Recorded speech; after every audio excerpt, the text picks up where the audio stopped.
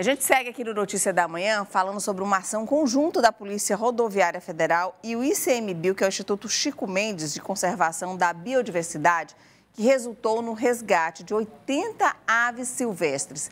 Entre os dias 8 e 12 de maio, foi realizada a Operação Outono 2023 contra crimes ambientais. Aqui no Piauí, a operação envolveu os municípios de Piracuruca, Brasileira, Piripiri e Pedro II.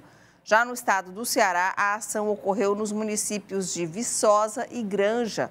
Pelo menos cinco pessoas foram autuadas por manter as 80 aves que foram resgatadas em cativeiro sem autorização do órgão ambiental competente para a prática.